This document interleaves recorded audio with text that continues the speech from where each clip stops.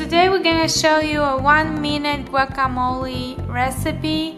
So first you're gonna have to cut the avocados.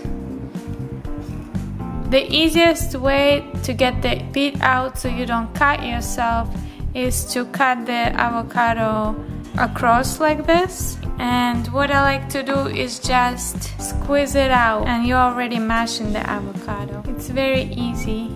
You're saving a lot of time that way. So now you're gonna add some salt, just to your taste, some black pepper, and you're gonna use one clove of garlic.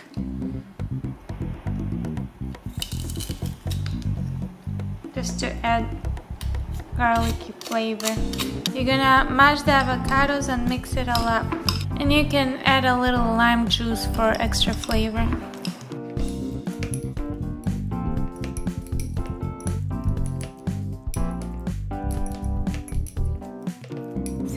Well it goes with any dish?